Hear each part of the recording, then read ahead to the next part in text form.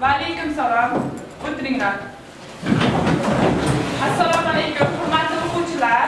Mana bugun o'zbekiston respublikasi davlat bayrog'ining 30 yillik munosabati bilan hamma joylarda tadbirlar e'lon qilindi.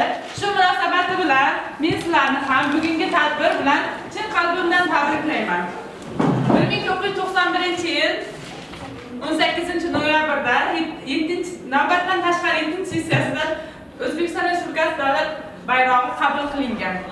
Marhamat, shu munosabat bilan 14 sonli kasb, 2 sonli kasbxonalar maktabi 14 guruh o'quvchisi Muhammadova Gulhaya o'zini she'rini namoyish etadi.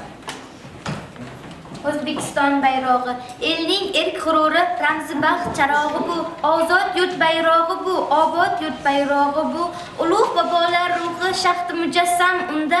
Ilm degan yerlarning ahdi mujassam unda. Mustaqillik shukuhi qadr mujassam unda ko'zimiz qarog'i bu ozod yurt bayrog'i bu. Yuksaklarda xilpirar porlab turar hamisha buyuk g'alabalarga chorlab turar hamisha. Ezgulik mayog'i bu ozod yurt bayrog'i bu. G'urur sharaf shonimsan iftixorim bayrog'im. Jonim ichra jonimsan nomus orim bayrog'im. Dilda faxrim quvonchim kelajakka ishonchim. Qanotim ham tayanchim dilda borim bayrog'im. Vatan chaman bo'stonim. senga sodiq har onim tanamda oqar qonim tinrab shonim bayrog'im shijoatim shahtimsan orzu umid baxtimsan